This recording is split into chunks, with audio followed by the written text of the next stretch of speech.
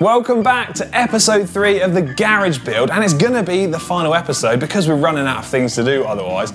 And we're gonna be doing three things today. First up, we're gonna be using the 3D printer because so many people have been asking when we're gonna use it. And today, I'm gonna be 3D printing a cool GCN logo so that over here, I can set the logo into the worktop and then I'm gonna be pouring a resin tabletop over it, which is gonna be super clear.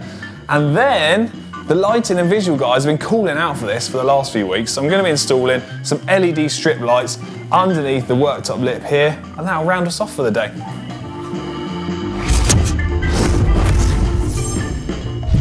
This is my 3D printer, but don't get your hopes up because it's a hobby grade 3D printer. This is not the sort of thing that can be used to 3D print a bike or structural components because this uses a plastic filament cable which is wound through here and then heated up into a liquid plastic and then deposited in separate layers to build up the item that you're trying to manufacture. So it's not intended for large components or anything that needs to be very strong.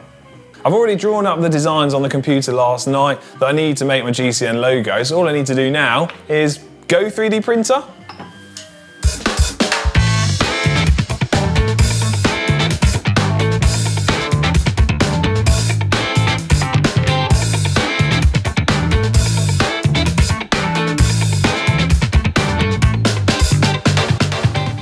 That's our 3D printed GCN logo done and dusted. It only took 2 hours 30, so big shout out to the cameraman for keeping a nice steady hand, so we've got footage of that.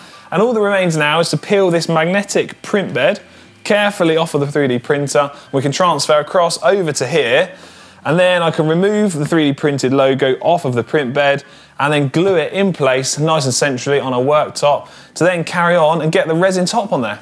All I need to do now is use a tape measure to measure out on this worktop the center location so I know where to put this logo.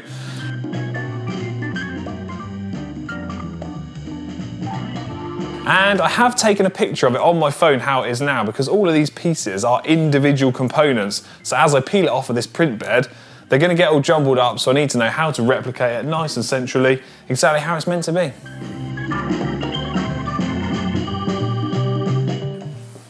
Not quite how it needs to be just yet, but we'll get it sorted in no time. But before we do that, let's get our work area nice and clean and tidy and then we can carry on.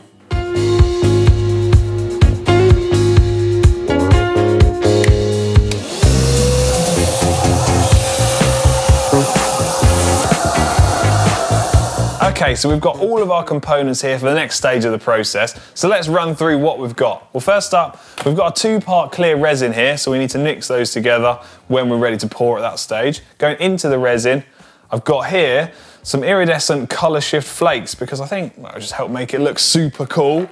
We've got a mixing paddle, so we can mix our two parts of resin together.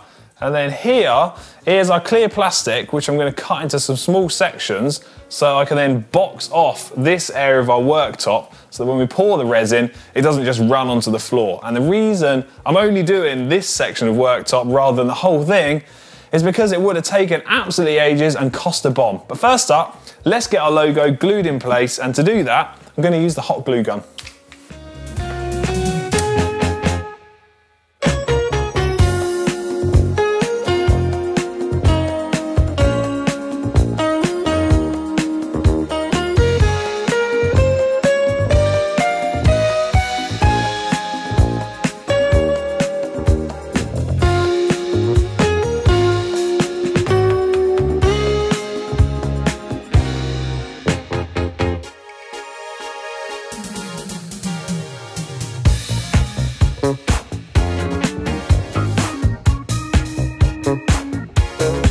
Oh, just stretching the old back after leaning over, gluing all of that. But hopefully, that is every sort of gap and crevice filled up with hot glue so that when we pour the resin in, hopefully it doesn't just run away everywhere and we end up with no resin tabletop.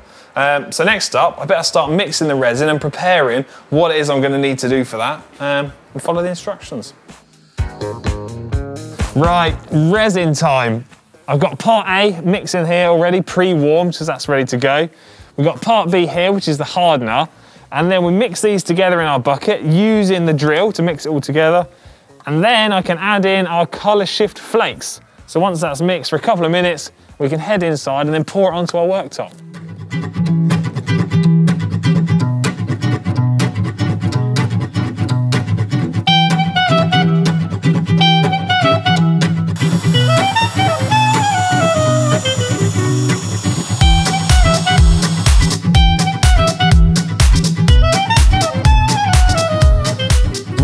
The resin mixed, and although it does look quite cloudy at the moment, but the bottle does assure me that it will set nice and clear.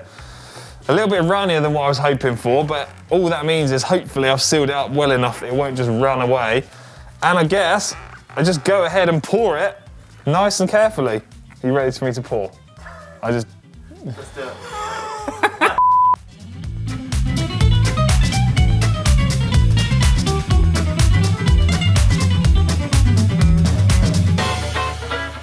That's it, resin is poured, and I think you'll agree, it looks absolutely epic. And so far, so good. We've got a couple of small little runs, but I think that should all be okay. And obviously it's gonna take a few days to set, so we'll have to come back then and revisit it, and I'll see you there.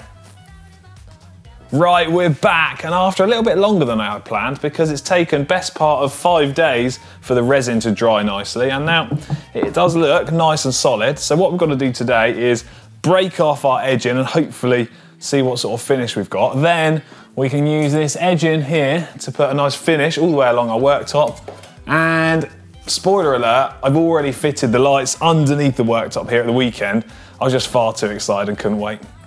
So first off, let's break this edging off. So first bit is off, and as you can see, even though I sealed up the edges as best as I could with hot glue, the resin has found its way through all of the tiny little gaps that I must have missed.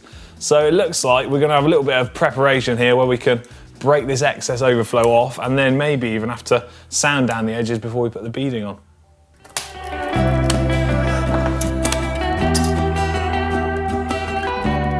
Right, I've got the edge cleaned up as best as I can for now, but because it's leaked through a fair little bit, I'm gonna have to save doing that properly until I've got a weekend with not much else on so I can sand it all the way back to a nice finish again. And the same goes for some of the other areas here where you've got a bit of resin that's just leaked through all the way down. I can clean that up at a later date. Next job today though, is to get this edging on so we can cut one section here and then step it down and run a full length all the way along the wooden part of the worktop. So that's next and let's get attaching it.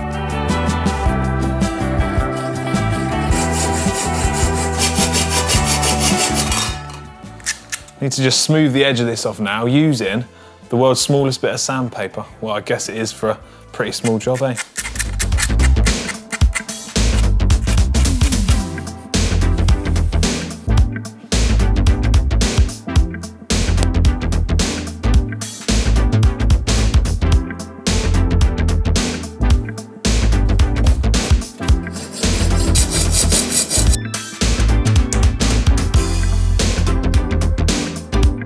Got our aluminium edging stuck on the worktop, so it's only right now that we get some metal polish and shine it up so it's got a nice little sheen to it.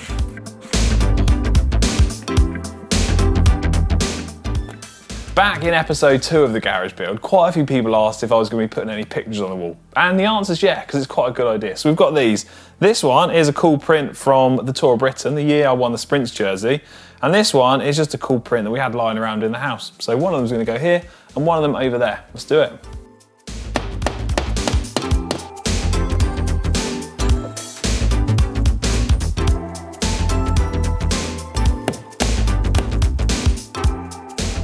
This rounds off episode three of the Garage Builds and draws the entire Garage Build series to a finish because we've run out of things to put on the wall. But rest assured, I will be tinkering away over the coming weekends to get it just right.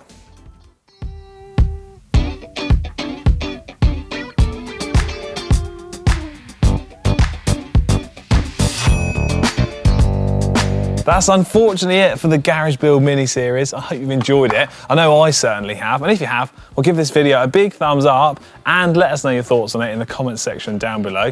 I guess uh, I'll see you next time we move house. See ya.